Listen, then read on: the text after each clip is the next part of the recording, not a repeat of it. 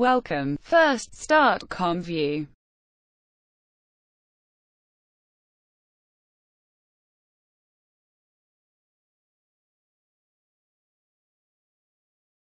You can use the scanner mode to scan all channel for your Wi-Fi access point. If you have determined the channel of your Wi-Fi access point, you choose single channel mode. Start capture by clicking on the play button.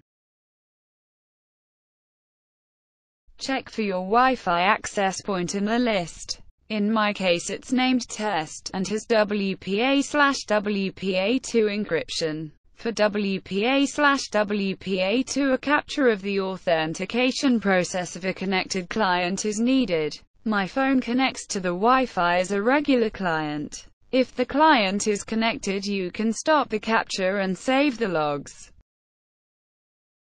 Make sure you use the Wireshark slash TCP dump format.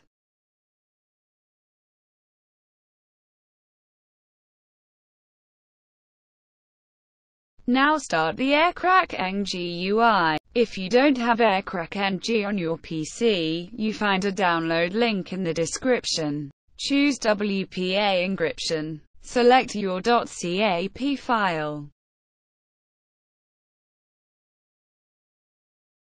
Select your word list. For this video I use for reasons of time, a very small list. Assuming one does not know the password, then you need for a password like cake. A list of all four-digit combinations of characters from A to Z. If you need real word list you find a link in the description. Choose your Wi-Fi and check for a handshake. If you don't have a handshake you have not captured the authentication of a client. Press enter.